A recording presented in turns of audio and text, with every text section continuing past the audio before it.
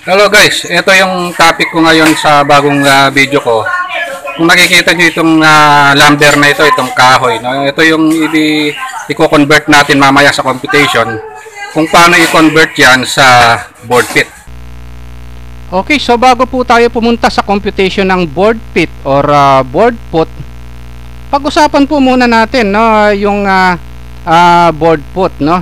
So kasi bago natin ma-convert yung mga kahoy no dun sa nako-compute natin sa board put, eh kailangan na alamin muna natin kung ano po yung ah, board put or board pit. So pag sinabi pong board put, 1 square foot po no na ang kapal niya is 1 inch.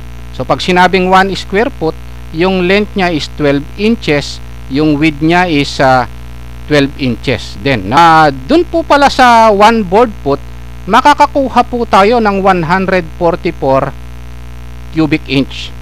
So ayun, na. 144 cubic inch po pala ang ah, ah, ang ah, ah, makukuha natin. So, so ano naman po yung ah, cubic inch? So pag sinabi naman pong cubic inch, ito po yung ang kapal niya is 1 inch, ang ah, width niya is 1 inch din o yung lapad niya. Ang ah, haba naman niya is 1 inch din, no? Ah, 1 inch by 1 inch by 1 inch. So ayun po yung cubic inch. So ayun po yung ah, board foot, no? At saka yung cubic inch. So volume po yung mga yan, no? So Okay, so punta na po tayo sa computation natin. Okay, so punta na tayo sa next computation natin. So yung 144 cubic inch na kinompute natin kanina, gagamitin na natin ngayon dito sa computation natin dun sa kahoy, no? Ah, by the way, yung kahoy pa lang ah, gagamitin natin, guys, no?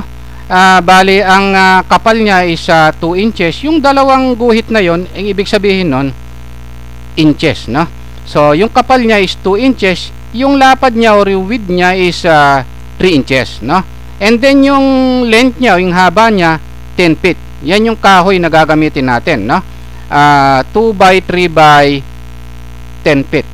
So, yung may isang guhit sa taas na yon, ah, feet po yon, no? Ang ah, ibig sabihin, no?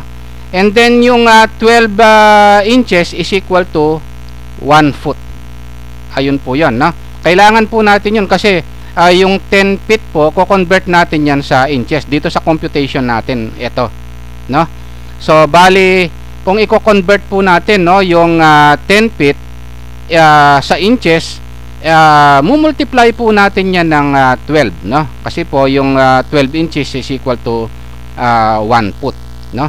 10 times 12, ang answer po doon is equal to 120 inches, no?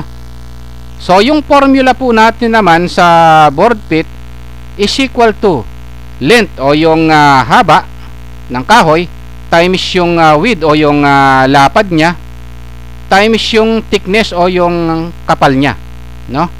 So, di-divide lang po natin yan sa 144. Ang 144 po na yan, 1 board foot is equal to 1 ah, 144 cubic inch. So, kung ko-computein po natin yan, board feet is equal to 120 inches times sa 3 inches times sa 2 inches, i-divide po natin ng 144. So, ang answer po natin sa board feet is equal to 5 board feet.